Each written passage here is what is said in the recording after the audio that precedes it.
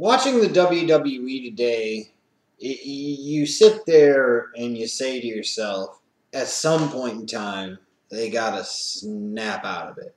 At some point in time, they got to figure this out. At some point in time, you would think, you would think, they would have to finally come to their senses and see what you see. But of course, this is a popular refrain that comes time after time after time, especially over the course of the past several years, if not throughout the past decade, which magically coincides with John Cena's time at the top. Hmm, imagine that. Hashtag Breakfast Club rules, bitches. But then Kevin Owens comes on the scene in NXT. And he becomes the NXT champion. And then, holy shit, here comes Kevin Owens out to answer John Cena's Open United States Championship Challenge. A new face on the WWE scene. A guy that brings a following that he's had for years with him to the WWE. A guy that doesn't look like everybody else. A guy that doesn't act like everybody else. A guy that's aggressive, a guy that's fearless, he's in your face, he's unafraid, he's also cerebral at the same time. And you look at him, and the WWE starts him off and features him as if he matters, and you latch onto that. And he's put into a story that matters. In fact, because he was working with the most important guy in the company, honestly, he's in the story that matters the most. And you get your hopes up. And you're sitting there and trying to convince yourself that this time it's going to be different the WWE is finally learning. John Cena has finally figured it out. Vince McMahon, Kevin Dunn are starting to get it. Change is going to come. After so many times of wishing for it and hoping for it and wanting it, it's here. It's going to happen. And as you get your hopes built up, even though you've been down this road before, and even though you start to have these little dreams and fantasies about how much better things could be, even though, again, you've been down this road before. You sit there and you keep plugging along because, by God, you've convinced yourself it's going to be different. And then the WWE surprises you at Elimination Chamber by having the NXT champion beat the United States champion John fucking Cena in his first ever pay per view match 100% clean. No excuses, no interference, no hijinks, shenanigans, cheating, or bullshit. Kevin Owens beats John Cena. Kevin Owens is the legit better man on that night than John Cena. And you've convinced yourself, based off of what you've seen. Owens has got it. He's going to be big. He's going to become a star. This is the platform for him to do bigger and better things. We start envisioning him potentially working with Brock Lesnar at WrestleMania or The Undertaker at WrestleMania. We're like, they're going to keep this guy in a main event spot, and he'll be the number two heel behind Seth Rollins, and it's going to be all gravy, smooth, no lumps, baby. Because he beat John Cena clean.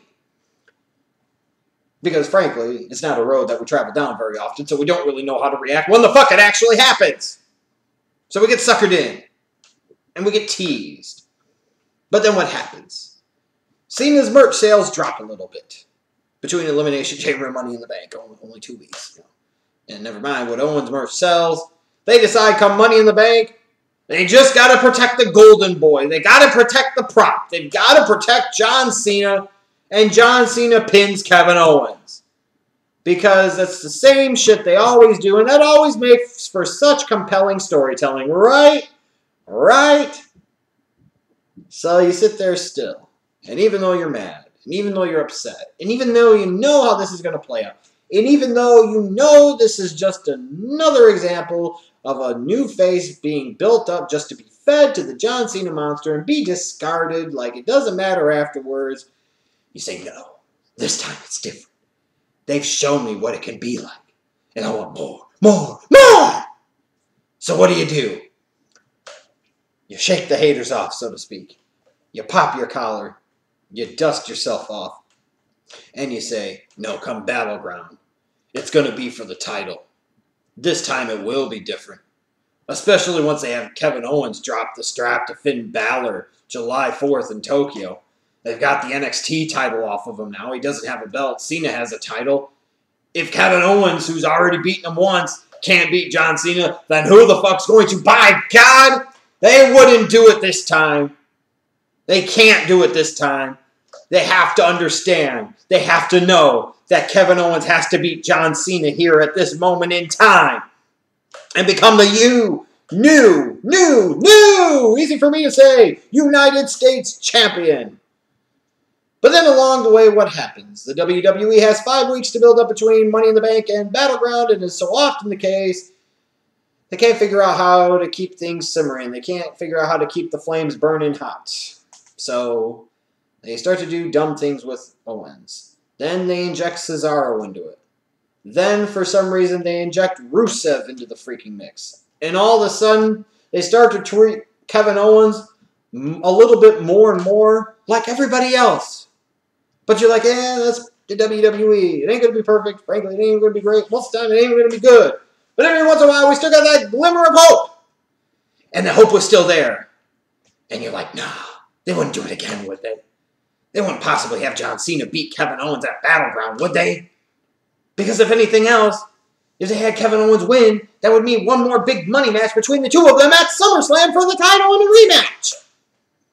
You had it all thought out. You had it all planned out. Maybe Owens wipes him out because even after he lost at Money in the Bank, he sit there and wiped out Cena. You're like, they're still taking him seriously. They're not going to give up on him. They're not just going to build him up to feed him to Cena and then spit him back out and not give a shit about him afterwards. Well, then of course, the battleground happens. and it's another John Cena match with botchy moves all over the fucking place. Nothing but a bunch of near finishes, false finishes, near falls, fucking sloppy execution, not even trying to hide, you're calling out the spots. A match that it's literally a spot to get to a spot to get to a spot where there's no cohesiveness, there's no real storytelling at all. You got guys kicking out of each other's finishers numerous freaking times. And at the end of the day, when all is said and done, on the one hand, you've got Cena looks like he's starting to complain to the refs just so that way he could still find a way to fucking beat Kevin Owens. And oh, this time, just to sit there and say, up yours, wrestling fans. We're going to make him tap out. We're going to make him tap out. Never mind the fact that it's your top face, so to speak, that's supposed to appeal to kids, and he's basically using a choke out maneuver to do it.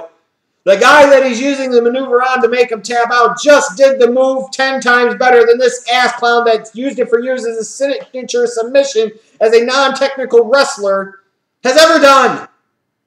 Owens executed Cena's finishing submission better than Cena, and yet Owens is fucking tapping out to this shit. What in the bluest of blue fucks is this company thinking? What in the hell could possibly be the rationale or justification for this? If Cena was such a goddamn great top guy, you wouldn't have to go to such great lengths to fucking protect him, period. If you actually cared about the future, you actually cared and paid any lip service at all to all that bullshit you've said about how you want to build up the next generation. Well, here's a guy that's clearly going after. Here's a guy that's trying to reach for that brass ring. So, of course, you said, Vince, hmm, my precious, my precious. And you took that shit back. And you said, I'm never giving it back to you ever again. Fuck you. That's exactly what happened. You have Kevin Owens win against John Cena the first time, just so that way you can build up Kevin Owens even more, just so that way that once again John Cena once again could look better once again by beating him once, and if that's not good enough, he'll beat him again. And this time, let's go above and beyond. Let's have him fucking tap out. What's the point anymore? There's no more reason for Kevin Owens to wrestle John Cena. He just lost to him twice in a row. He just quit against him. And frankly, going forward, why would anybody ever want to care to see Kevin Owens versus John Cena again in any way, shape, or form at any level in that company, especially for a world title, when Kevin Owens lost to him two times in a row in the fashion that he did, in the way that he did. Oh, but wait, there's more. We decide on Raw that instead of instantly putting Kevin Owens into something big and something that matters, we're going to largely ignore him. We're going to give him the jobber treatment, whereas guys like John Cena and Randy Orton and Seth Rollins are backstage. You've got guys like Kevin Owens having to come out and be the guy, a part of the group, that breaks up the fight between Brock Lesnar and The Undertaker. That's when you know you've reached you don't fucking matter status in the WWE. Is when you get sent out for that type of shit.